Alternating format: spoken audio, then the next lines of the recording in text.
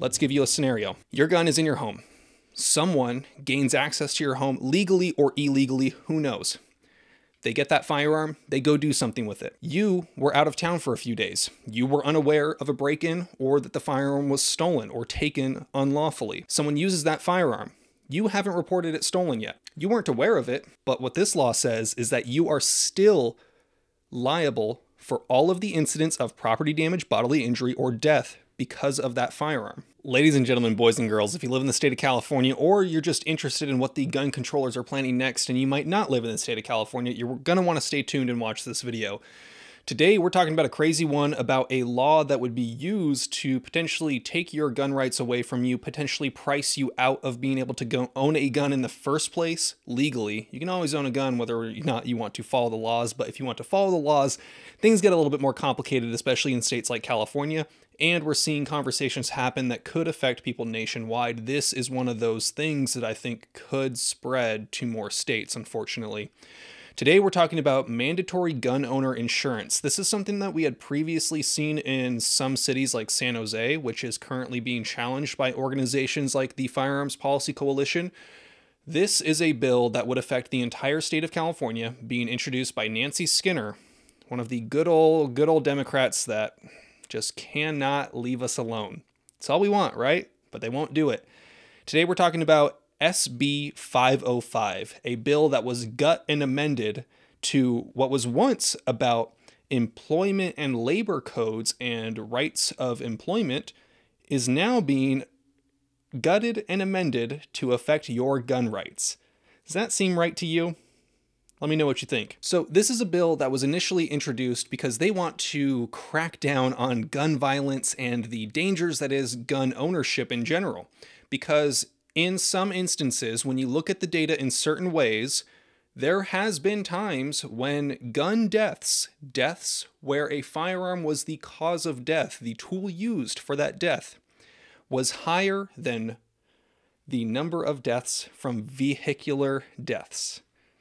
Now, interestingly enough, in the gun deaths, they include suicides, which include two thirds of all deaths relating to guns, as well as firearm related deaths, including law enforcement. Does that seem fair to you? Now, for the category of the vehicle deaths, they're using 2020 and 2021 data, where many people work from home, meaning that there's just less people driving. So, when you factor in that the gun deaths, about two thirds of them aren't going to be affected by insurance, and then you're comparing the record low data because people were forced to not go to work and forced to stay home, do those numbers really add up? Do you really think that gun deaths are killing as many people as vehicles when it comes to non suicide related incidents? Not really. The data doesn't really show that. But there's lies, damn lies, and statistics. So, this law, I want to read a few excerpts from it because it is actually a lot more dangerous than I initially thought. Interestingly enough, the only penalties that we have in the bill text now says that not complying with this law and getting caught would be a misdemeanor. How it would be enforced is first of all by cops. Cops will enforce this law. I know there's plenty of officers out there. I know many officers personally that probably wouldn't ask for this kind of thing, probably would not enforce this kind of law, but there are far too many who will. So if you're saying, "Oh, nobody's going to enforce this law," enough people will and enough people will get caught in the crossfire of these dangerous laws. So keep that in mind. Do you want a misdemeanor on your record, a gun misdemeanor on your record, a firearms related offense on your record? Let me know.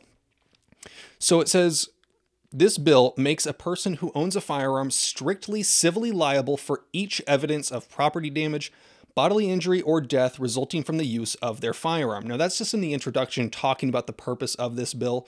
When we get to the actual penal codes, the actual laws, this is the most dangerous part. Section 27580 is added to the penal code to read A person who owns a firearm shall be strictly civilly liable for each incidence of property damage, bodily injury, or death resulting from the use of their firearm. Notice how it does not say that you have to give the gun to someone. Notice how it does not say that you are exempt if you had it securely stored and someone took it or accidentally get a hold of it. Notice it doesn't say that if you let someone shoot your gun, they trip and fall and negligently discharge, that it's their fault. It's actually your fault. The owner of the firearm is responsible civilly for all incidents of property damage, bodily injury, or death from their firearm. There are some instances where that might make sense if you, as the owner of the firearm, acted negligently and handed a 50 Action Express Desert Eagle to a two year old. That makes sense, right? But every other instance might not make as much sense.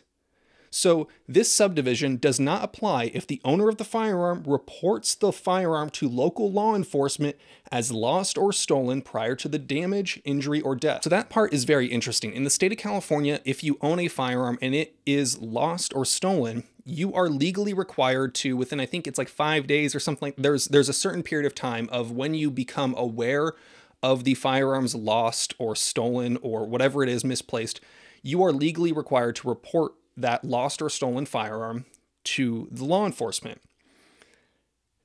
This is very specific. It says that it doesn't apply if you report the damage or if you report that firearm stolen prior to the damage, injury, or death. Let's give you a scenario. You have a gun in your house stored however it is. Maybe it's securely stored in a safe. Maybe you just lock your doors. Maybe you got security cameras, whatever. Your gun is in your home someone gains access to your home legally or illegally, who knows? They get that firearm, they go do something with it. You were out of town for a few days. You were unaware of a break in or that the firearm was stolen or taken unlawfully. Someone uses that firearm. You haven't reported it stolen yet. You weren't aware of it, but what this law says is that you are still liable for all of the incidents of property damage, bodily injury, or death because of that firearm until you report it stolen. Does that seem right to you? Now, a person who owns a firearm shall obtain and continuously maintain in full force and effect a homeowner's, renter's, auto, or gun liability insurance policy from an insurer as defined by the insurance code, specifically covering losses or damages resulting from any negligent or accidental use of that firearm including but not limited to death, injury, or property damage. How many insurance companies out there are currently going to cover something like this? I'm not aware of a single one. I'm not aware of any company that would insure unlawful use of a firearm. This isn't talking about USCCA, CCW Safe, uh, Safe Life Defense. This isn't talking, or that's not the right one. This isn't talking about any of the insurance companies that are basically just lawyers on retainer. This is talking about actual insurance for the unlawful use of a firearm. I'm not aware of anything like that currently existing, but that doesn't matter. Because if this bill goes into effect, they don't care if there isn't any actual services being offered. All they care is that you don't have it. And if you don't have it, they're going to charge you with a misdemeanor. Because a person who owns a firearm shall keep valid and current written evidence of the coverage described in Subdivision v, B readily available at the location where each firearm is stored and shall carry such evidence whenever the firearm is being transported or otherwise possessed outside the place where it is normally stored. You are legally required to give that upon demand to a peace officer. So, again, who's going to enforce this? Cops. Cops will enforce this. You get pulled over, they see that you have guns, they are legally allowed to inspect those firearms. If they see that you have guns in the back of your car, they're allowed to make sure that they're not illegal. They then might ask to see your insurance. And if you don't show them that insurance, you're going to be getting a misdemeanor. Now, interestingly, normally when we see bills like this, law enforcement and government officials are exempt. Law enforcement are usually exempt even outside of the scope of their normal duties. This bill does not have a police exemption. If you think that police won't try to lobby for police exemptions, let me know. I think that police are going to lobby not for this bill going away, the police are going to lobby for this bill to have a police exemption. And that is the proof that you need. That would be the proof that anyone would need to know that the police will enforce these laws. Because they do have an opportunity here. The police currently, and the police unions as a whole, right now in the state of California, have an opportunity to try to lobby for this bill to be eliminated.